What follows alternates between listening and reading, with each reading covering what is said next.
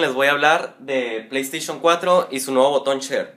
Ese botón en el que lo han podido añadir en el poder compartir tus momentos de gloria. Por ejemplo, en mi caso, mi juego favorito es Call of Duty.